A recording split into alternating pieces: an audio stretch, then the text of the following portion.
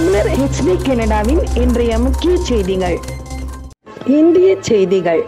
Chennai D நகர் பேருந்து நிலையம் அருகே ஆம் ஆத்மி கட்சி சார்பாக அதன் தமிழக ஒருங்கிணைப்பாளர் வசீகரன் தலைமையில் ஆர்ப்பாட்டம் நடைபெற்றது. மணிப்பூரில் ஏற்பட்டு வரும் கலவரத்தின் காரணமாக பாஜக அரசை எதிர்த்து நடைபெற்ற இந்த ஆர்ப்பாட்டத்தில் நூற்றுக்கும் மேற்பட்டோர் கலந்து கொண்ட கோஷங்களை எழுப்பினர். மணிப்பூர் போன்ற கலவரங்களில் இருந்த இந்தியாவை காப்பாற்ற வேண்டுமானால் இந்தியா கூட்டணி வெல்ல வேண்டும். நிச்சயமாக மோடி தோற்கடிக்கப்பட வேண்டும் என்பதற்காக தான் நாங்கள் இந்த போராட்டத்தை முன்னெடுத்துள்ளோம் என்ற திரு வசீகரன் தெரிவித்தார். மோடியே கேவலம். மோடியே கேவலம். கேவலம் கேவலம். கேவலம் கேவலம். மணிப்பூர் கேவலம். மணிப்பூர் கேவலம்.